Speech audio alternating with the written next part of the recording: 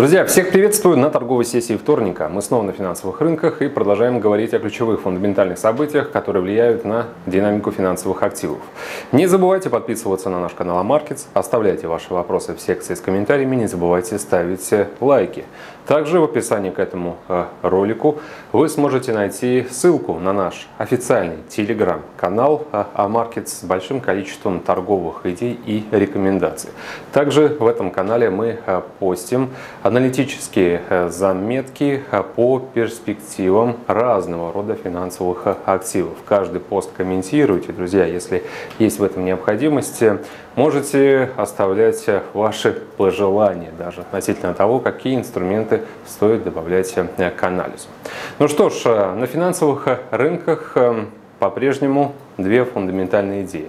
Это насколько негативным будет влияние ковида на мировую экономику на, э, соответственно, те э, активы валютные и э, фондовые, которые за ними стоят, и как быстро ФРС созреет к решению Эм, об ужесточении монетарной политики.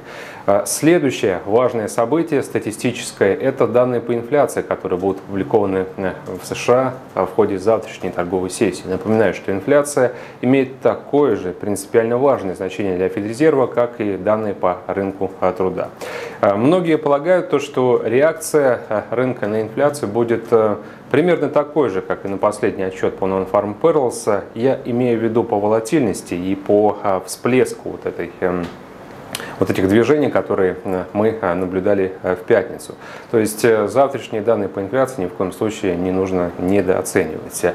По ожиданиям. Опять же, сейчас разные эксперты, разные аналитики прогнозируют разные значения. Это и существенное превышение того уровня, который мы видели в прошлом месяце, и напротив другая полярность этих отчетов, что статистика не дотянет до тех показателей, которые по росту мы наблюдали месяц назад. И, соответственно, это будет сигналом того, что инфляция уже замедляется, о чем ранее говорил.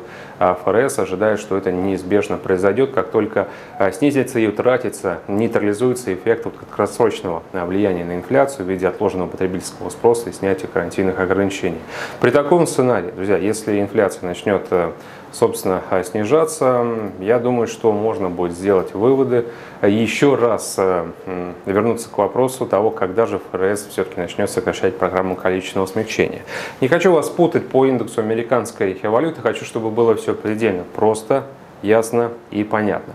Ближайшая встреча Джексон Холли – это в конце августа выступление Паула, и вот там уже будем искать сигналы, конкретные эм, конкретные сроки того, когда а, политика будет а, скорректирована. До этих пор я могу заранее сказать, друзья, что я буду придерживаться короткой позиции по доллару и точно не откажусь от вот этого а, шорта.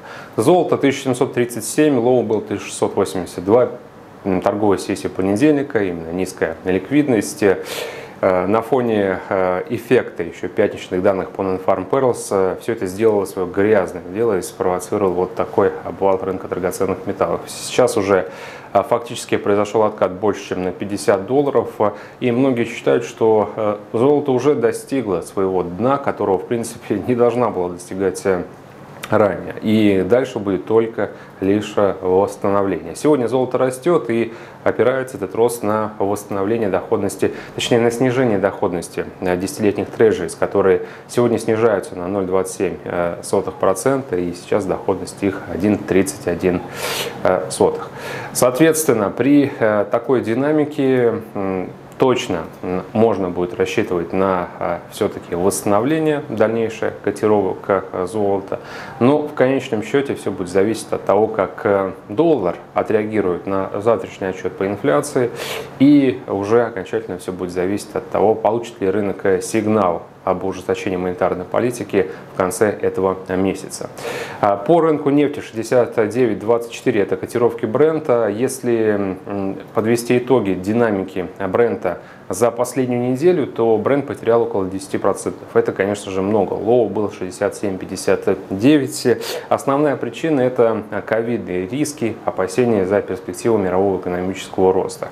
И сейчас ветер дует из Китая. Пока, а, скажем так, другие страны пытаются мириться и как-то сосуществовать с фактом распространения нового дельта-штамма в их регионах, Китай демонстрирует и проводит политику нулевой терпимости. Вот где-то появляются, фиксируются Э, скачки роста э, количества заболевших, как власти принимают решения о жестких ограничениях. И сейчас уже более 20 провинций из 31 находятся фактически в условиях э, жесткого локдауна. Это вызывает определенные опасения за экономические перспективы этих регионов, да и в целом Китай тоже.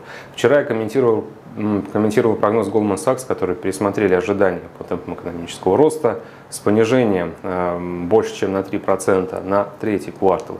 И я, в принципе, с ними абсолютно согласен.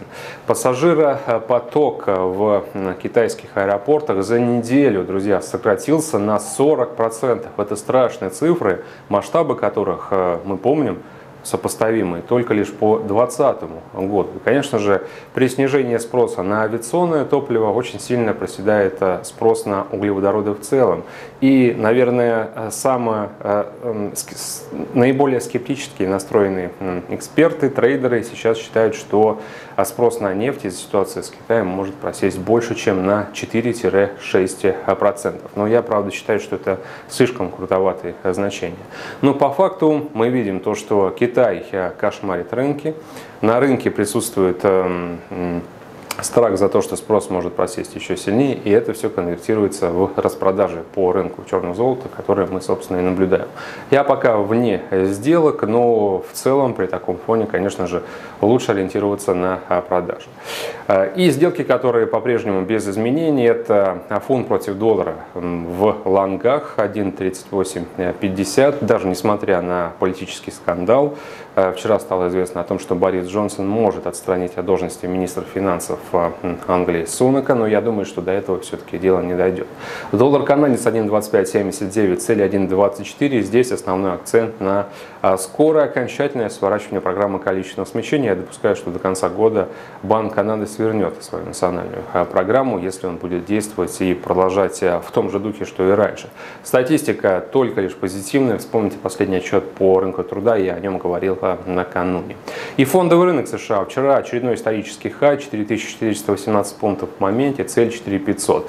И, друзья, Сегодня в рамках текущей торговой сессии на рынок может прийти еще один мощный катализатор, который потенциально способен помочь фондовому рынку добраться до цели в 4500, которую я ранее поставил.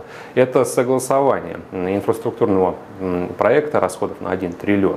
В частности, лидер большинства в Сенате Шумер вчера сделал заявление о том, что сегодня очень высокая вероятность того, что компромисс будет достигнут. И Евросток, с которым мы давно уже не разбирали, но в целом если отмотать немножко назад, я рекомендовал э, в качестве долгосрочной сделки брать его с целями 4300. Сейчас котировки 4171, и Евростокс на исторических максимумах, и я, так же как и раньше, предлагаю работать по тренду. На этом, собственно, все, друзья. Хорошей торговой сессии. Всем пока.